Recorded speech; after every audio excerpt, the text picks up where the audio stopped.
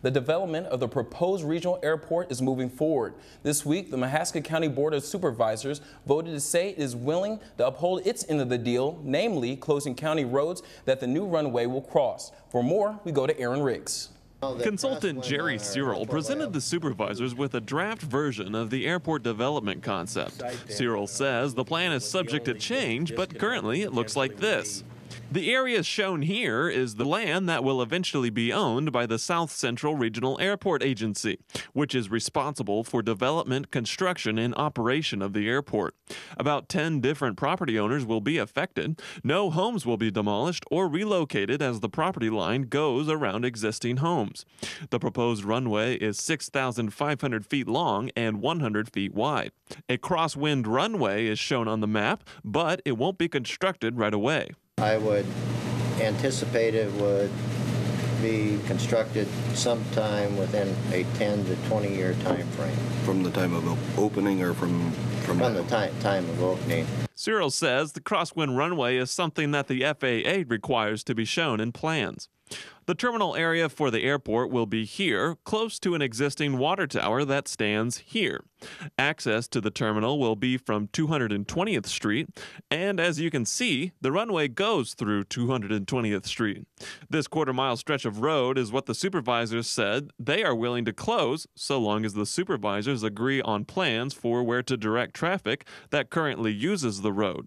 County engineer Jerry Nusbaum says that the road is currently a trucker's shortcut to Highway 63, acting as a bypass around Oskaloosa for trucks to head north on 63.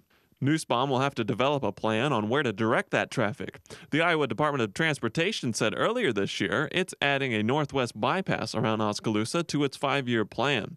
Nusbaum says both the airport and Highway 63 projects could tie into one another to reach a similar goal. And so suddenly, it, it's time to bring these together.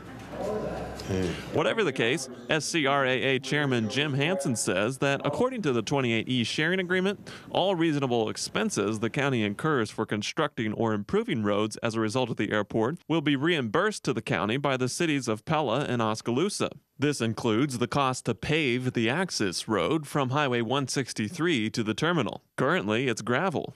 And while the supervisors said they are willing to close the portion of 220th Street, once the airport project reaches the point to actually close the road, it could cost the taxpayers $250,000 if the supervisors decide not to.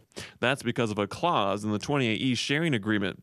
It says that in the event one or more of the parties significantly delay the construction, the party will be liable to the other entities for liquidated damages in the amount of $250,000, an expense that may deter some from hindering the airport's development. For CRI Weekly News, I'm Aaron Riggs. The resolution to support the airport project passed 2 to 1 with Mark Doland voting against. Doland opposes the possibility of using eminent domain to acquire land for the airport. On July 15th, Doland is expected to introduce a resolution to the Board of Supervisors that will initiate a first step in an attempt to remove the regional airport agency's ability to use eminent domain.